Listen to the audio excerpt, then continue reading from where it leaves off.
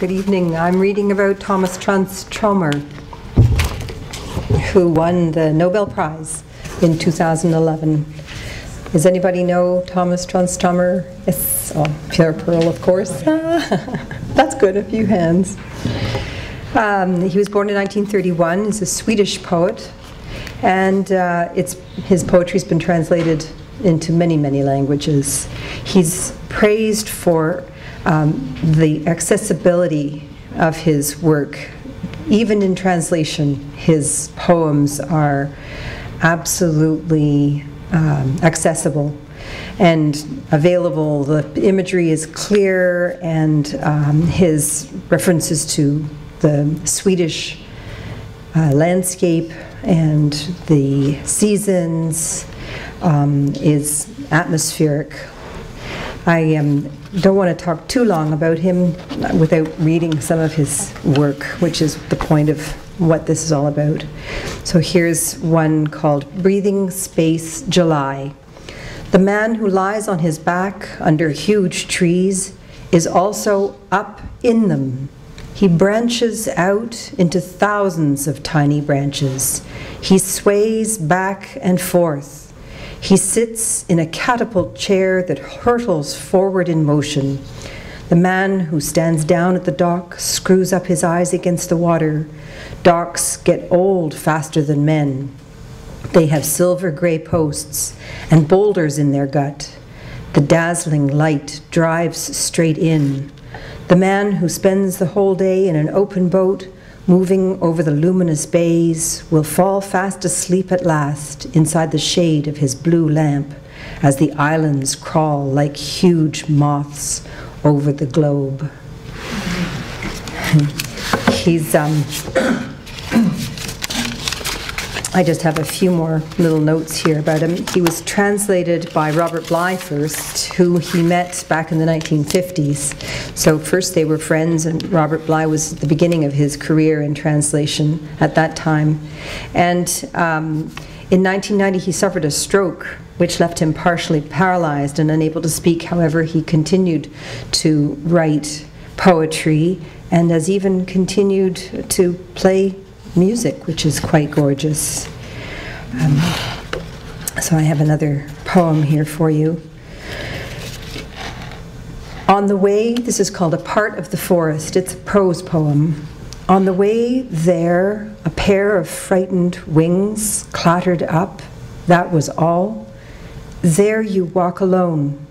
It's a high building, completely made of narrow cracks a building that is always swaying but never falls. The thousandfold sun slips in through the cracks. In the play of light, an inverted law of gravity, gravity prevails. The house is anchored in the sky, and everything that falls falls upward. You can turn around there. You can mourn there. There you dare look at certain old truths that otherwise are always kept packed away.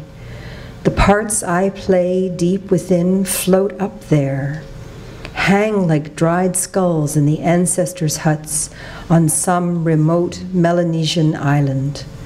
The atmosphere of childhood around the spooky trophies. It's so mild in the forest. Oh, no.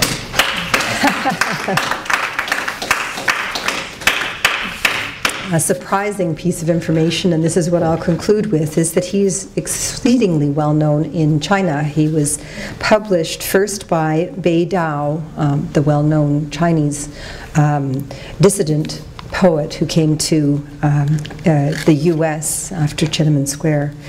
And um, he, uh, Bei Dao had known him uh, prior uh, to any of this upheaval when Tranströmer visited China back um, in the 80s. In fact, I think he was known in, prior to that, but when he came in the 80s, it, it, made a huge wave, an enormous impact in China.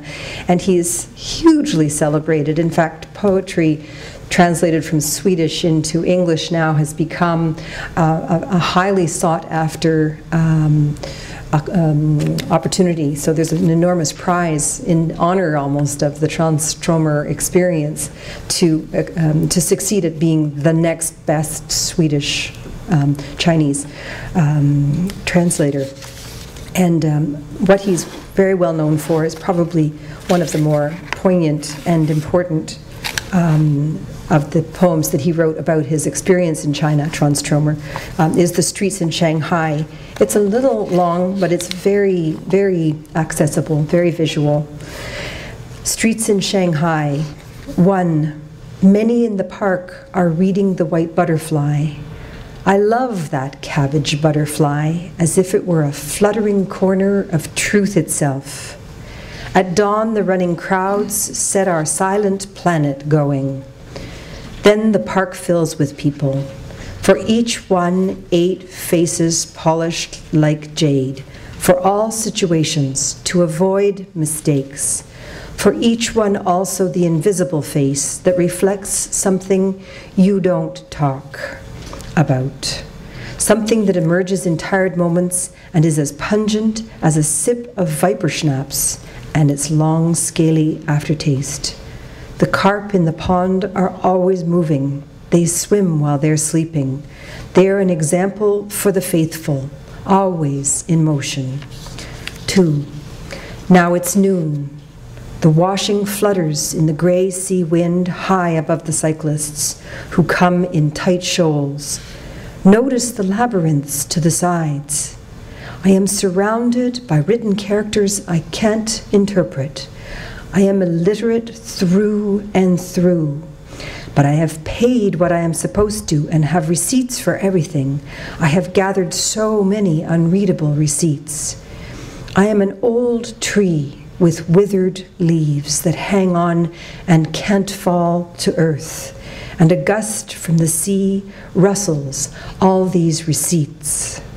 Three, at dawn, the trudging crowds set our silent planet going.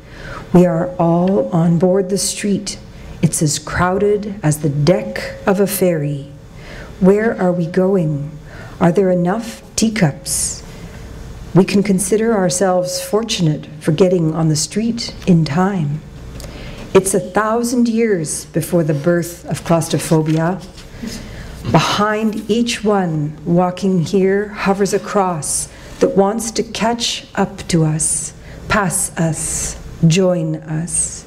Something that wants to sneak up on us from behind and cover our eyes and whisper, Guess who? We look almost happy in the sun while we bleed to death from wounds we know nothing about. Thank you.